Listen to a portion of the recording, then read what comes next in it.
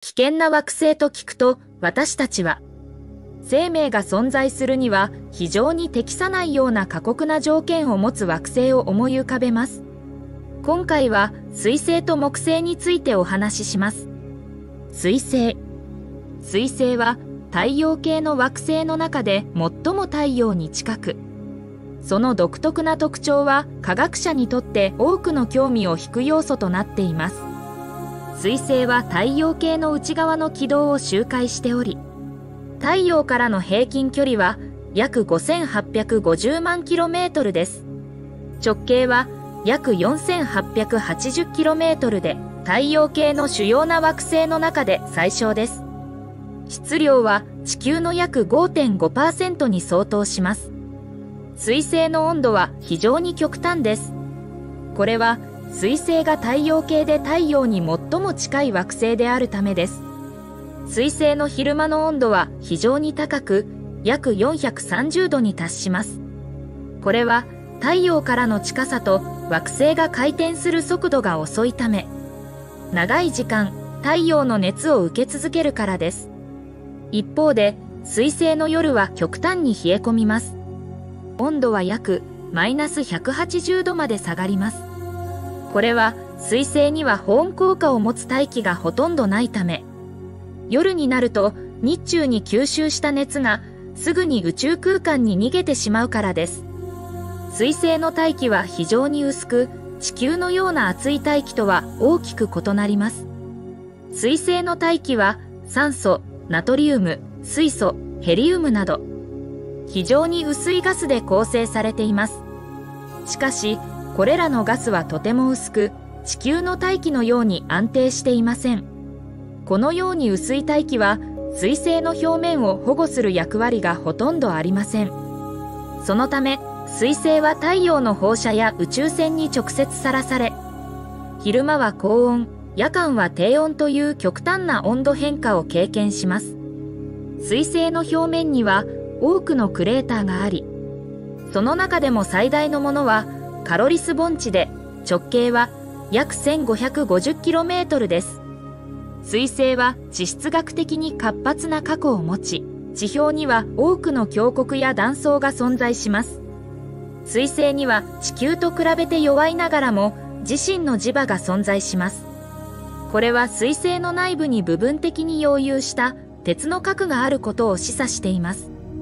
1974年から1975年にかけて NASA のマリナー10号が水星を初めて訪れ、初の接近写真を送信しました。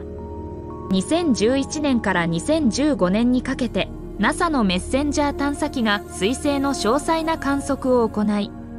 その構造や地質、磁場に関する貴重なデータを提供しました。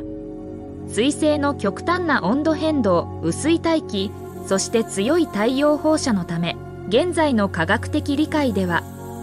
水星に地球型の生命が存在する可能性はほぼありません。水星の研究は太陽系の形成と進化に関する理解を深めるのに貢献しています。水星の極端な環境は未来の宇宙探査技術の開発において重要な実証基盤となっています。水星はその極端な環境、薄い大気、激しい地質活動、そして太陽に非常に近い位置にあるために、生命が存在するには非常に不向きな惑星です。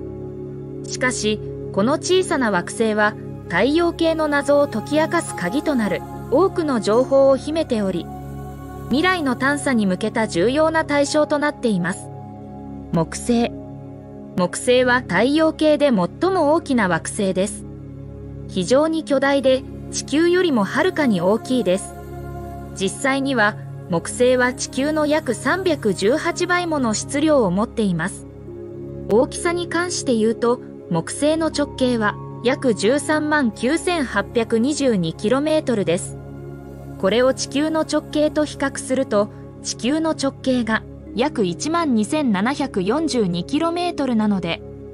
木星は地球よりも約11倍大きいです。木星はガスの巨大な球体で構成されており、主に水素とヘリウムから成り立っています。木星には固体の表面がないため、地球のように陸地や海がありません。その大気は色とりどりの帯や渦を形成しており、これは惑星の高速回転によるものです。木星は非常に速い自転をしており、1日木星が1回転する時間は地球時間で約10時間です。この速い自転のために木星は赤道部分が少し膨らんで見えます。木星の大気は非常に熱く、激しい風と嵐が特徴です。最も有名なのは大赤斑と呼ばれる巨大な嵐で地球よりも大きなサイズです。大赤斑のサイズは非常に大きく、地球が約2、3個収まるほどの大きさです。この嵐は非常に長い間存在しており、少なくとも400年以上は観測されています。大赤斑の正確な年齢は不明ですが、この嵐は非常に安定しており、長期間にわたって観察され続けています。この巨大な嵐は高速で回転している渦巻きで木星の赤道から南に位置しています。大赤斑の色は鮮やかな赤色からオレンジ色、さらには暗い茶色に変わることがありますが、その色の変化の正確な原因はまだ完全には理解されていません。木星の表面温度はマイナス145度程度と非常に低いですが、内部に向かうのと同時に温度は上昇します。生命にとって木星の環境は非常に厳しいものがあります。木星の大気は非常に熱く、地球の大気圧よりもはるかに高い圧力があります。この高圧は生命が生存するには適していません。木星は非常に強力な磁場を持っており、その結果、強い放射線体が形成されています。木星の磁場は地球よりもはるかに強く、この磁場が宇宙から来る粒子、主に電子を捕まえて高速で動かします。これらの高速の粒子が木星の周りに放射線体を形成し、その結果、非常に強力な放射線が発生します。この放射線はとても強く、地球上で私たちが日常的に経験する放射線とは比べ物になりません。木星の強い磁場は惑星内部の動き、特に金属の液体でできた外核が高速で回転することによって作られています。この磁場が宇宙の粒子を捕まえ、高速で動かすことで、木星の周りに独特の放射線環境が生まれているのです。よってこの放射線は生命にとって致命的です。また、木星には地球のような固体の表面がありません。その代わり、ガスが徐々に高密度の液体に移行する構造をしています。このような環境では生命が定着する場所がありません。木星には少なくとも79の衛星があります。その中で最も有名なのはガリレオ・ガリレイによって発見された4つの大きな衛星。イオエウロパガニメデカリストです。これらの衛星はそれぞれ独自の特徴を持っており科学的な研究の対象になっています。その中には地球外生命の可能性を探るための興味深い候補が含まれています。